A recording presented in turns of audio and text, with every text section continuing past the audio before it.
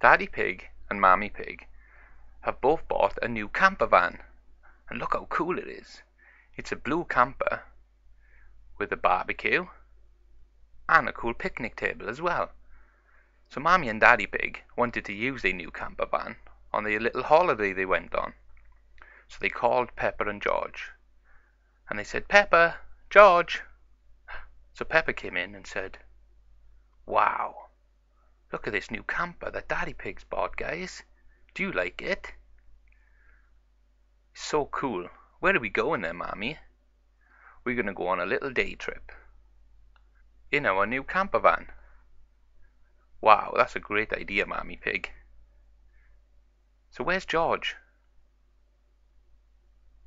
And George comes in and said, No, you know blue's my favourite colour, and you've only gone and bought a blue camper van. Now that is just too cool. So come on in, guys, let's go. So it was time for everyone to jump into the camper van and pack their picnic set and barbecue away for the trip.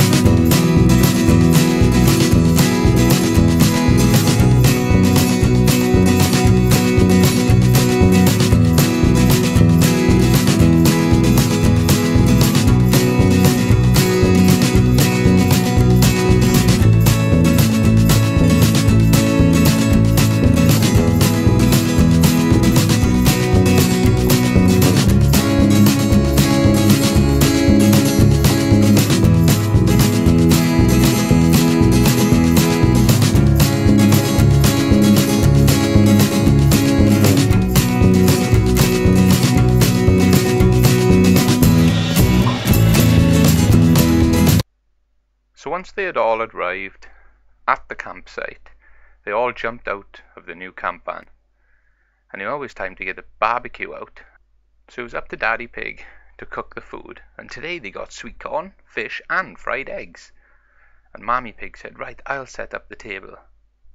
But Peppa said, Where are we going to sit? There's nowhere to sit for us.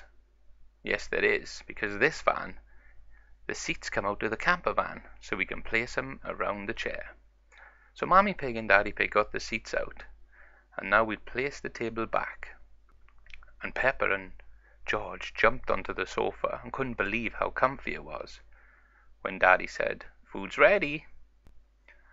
So after Daddy Pig has served all the food, it was now time to start eating. Come on, Mommy Pig, jump on the sofa. So Mommy Pig, Daddy Pig, Peppa and George had a great day in the new camper van.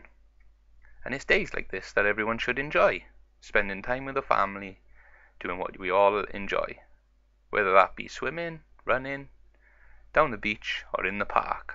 It doesn't matter where you are, it's all about the company you have. And as always, Peppa said, don't forget to subscribe.